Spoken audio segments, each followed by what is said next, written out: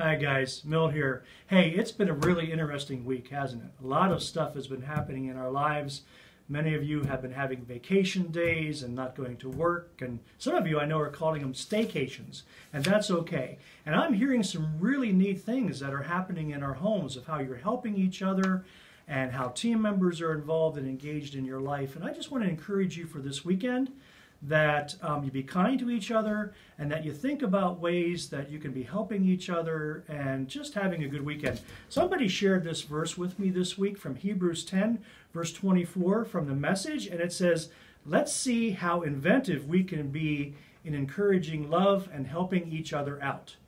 And they changed the word inventive to creative. Let's see how creative we can be in encouraging love and helping each other out. That's my wish for you guys this weekend until we talk again maybe on Monday. Um, that you have a weekend filled with creativity, with peace, and with joy. And that you keep looking to God for help and for peace and trust your team members. They know what they're doing.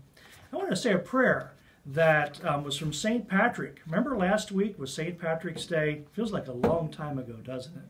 Well, and this is for team members too. Uh, we want God to be with you each moment, every day, all the stuff you're thinking about and dealing with. So I want to read this poem. It's actually called The Breastplate of St. Patrick. So it's like protection. The breastplate of St. Patrick. May the strength of God pilot us. May the power of God preserve us. May the wisdom of God instruct us. May the hand of God protect us. May the way of God direct us. May the shield of God defend us. May the host of God guard us against the snares of the evil ones and against the temptations of the world. May Christ be with us. May Christ be before us. May Christ be in us. Christ be over all.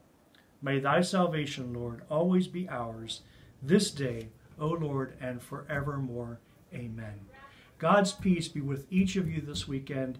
I pray it's a good one.